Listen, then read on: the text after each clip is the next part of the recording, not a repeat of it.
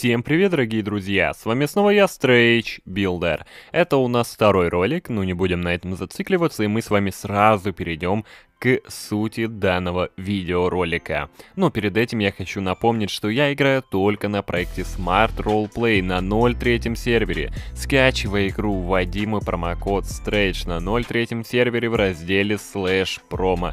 Он даст тебе 50 тысяч при достижении третьего игрового уровня. Напомню, промокод действует только на 0.3 сервере. Все ссылочки в описании. Давайте начнем с того, что я не могу раскрывать полные доходы, сколько я получаю со смарта. Но я могу сказать, сколько я получаю в целом с канала. И вы можете сделать выводы, сможете ли вы, имея только, допустим, один канал, съехать от родителей и жить уже самому и обеспечивать себя самостоятельно. Для справки хочу вам сказать, что я владею несколькими каналами, и они мне приносят разное количество денег. Но в данном случае мы с вами рассмотрим только единственный канал, а именно Strange Builder, то есть этот.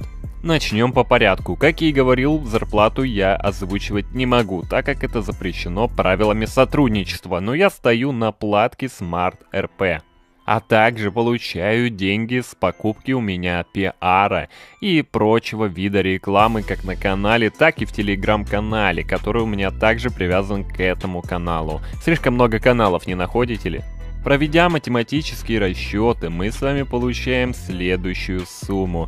В месяц с помощью этого канала я получаю от 20 тысяч до 25 в зависимости от того, как у меня купят рекламу. Цены рекламы у меня варьированные, то есть у меня нет определенного прайса. Это, кстати, очень большой плюс, тогда вы не сможете сделать расчеты, сколько я получаю чисто зарплаты по смарту.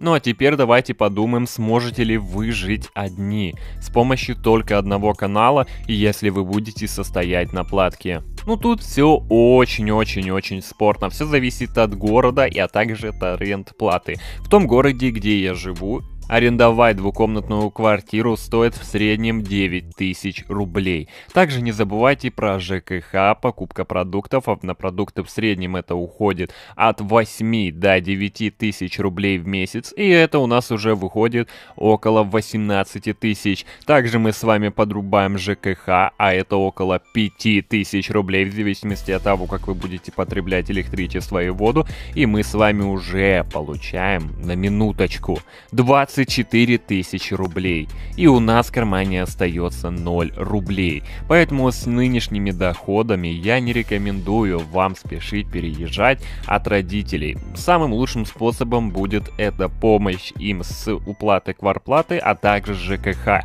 И тогда родители вам не будут пилить мозги и говорить то, что вы нахлебник. Вы скажете, а вот я вам помогаю, это как бы теперь... Я как бы у вас арендую комнату, и мы делим ее пополам. Поэтому не спешите делать поспешные выводы. Один канал, который начинающий или средненький, он вас особо не прокормит. Поэтому лучшим способом будет данная стратегия. Ну, спасибо, что посмотрели довольно такой лайтовенький ролик. С вами был Strange Builder. Всем удачи и пока!